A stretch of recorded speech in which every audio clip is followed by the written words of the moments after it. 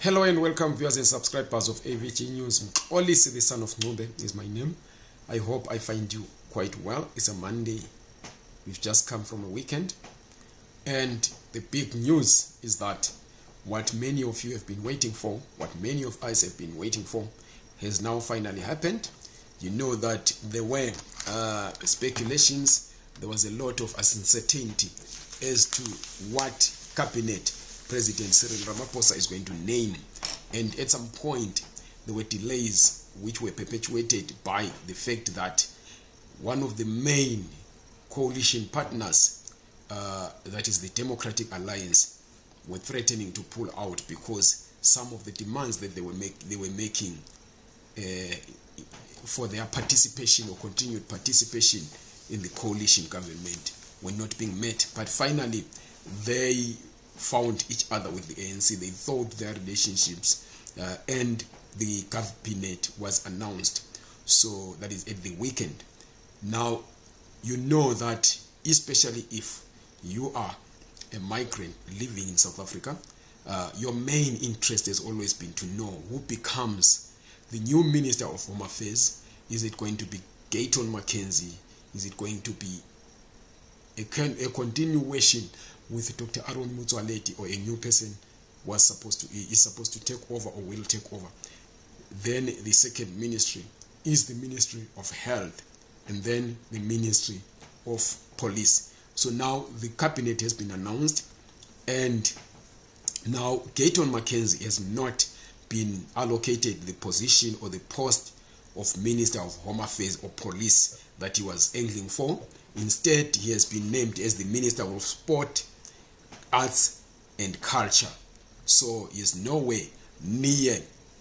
dealing with migrants either directly or indirectly as he has been agitating for abahambe as he has been agitating for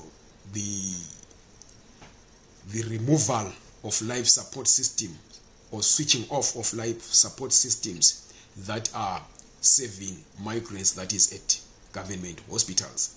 so the minister of home affairs i know that is where most of your interest lies is mr uh, leon scriber he is from the democratic alliance now you will know that the democratic alliance has an alternative policy on migration which says that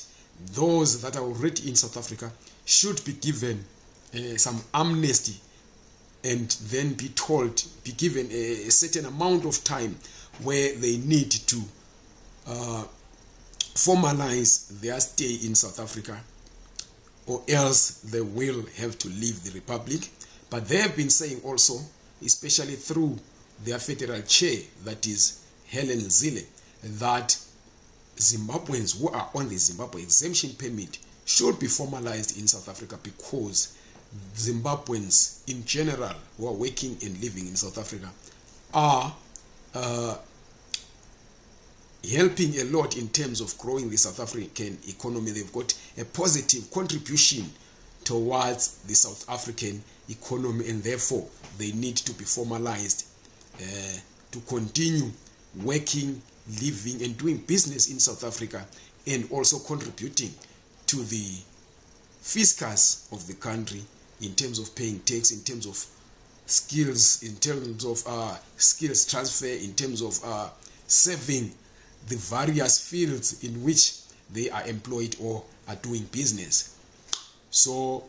but we know that no single minister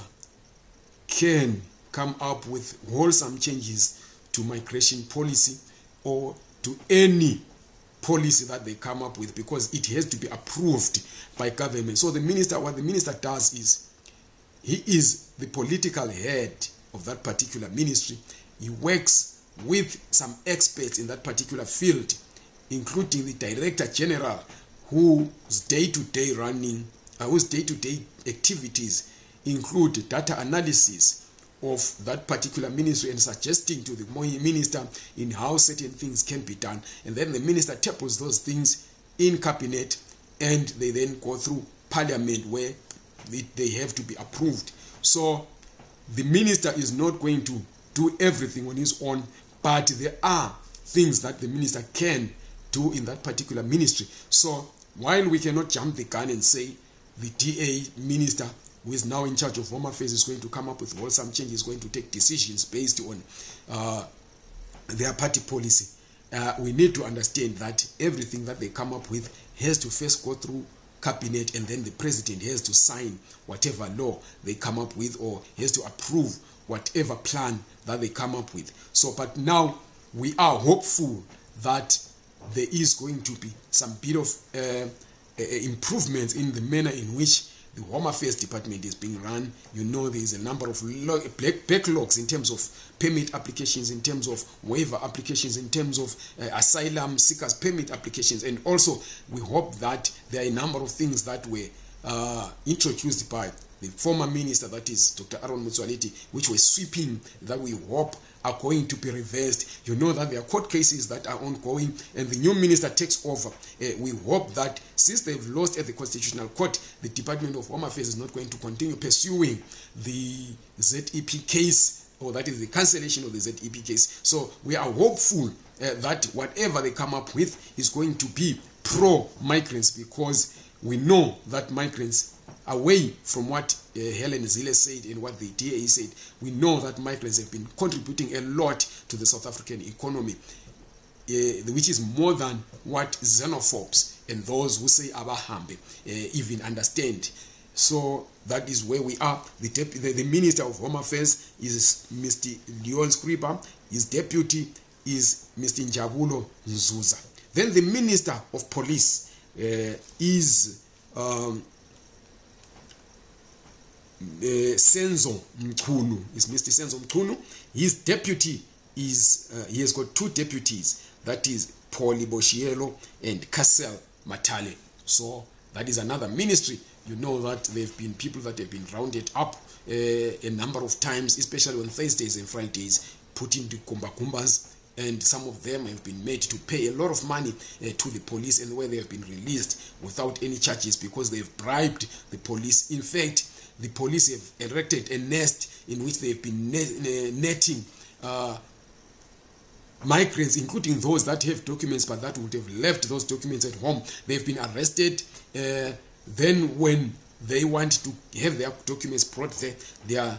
sometimes made to pay some 300 rand before they can be released. Uh, some have been taken to Lindela as well, where they've been taken to court, and uh, some have been taken to court i mean were after some time in these cells and they've been taken to sun city to serve because they don't have the required documents to be in south africa we don't know what is going to happen there uh, if these uh, operations are going to continue or if they are going to be stood down because at the end of the day the south african government has lo been losing a lot of money netting people that have been released because the borders are porous because the police are, uh, are corrupt and they've been made to pay uh, some fines others have been made to pay some bribes most of them have been made to pay some bribes they've been bribing the police uh, especially during month end that is when many have been arrested and made to pay bribes even when they have the documents uh, the deputy uh, i've said the deputy ministers in that particular field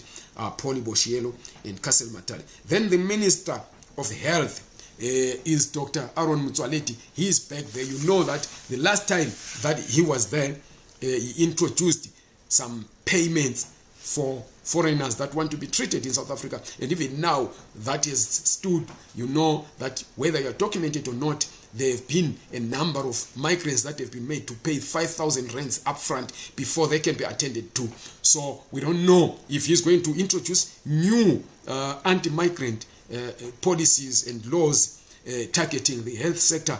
we hope that he's not going to do that, but with him, you know, anything can be expected. Uh, his deputy there is Joe Pasha, that is Mr. Joe Pasha. So that is what we have for now. Uh, we will continue monitoring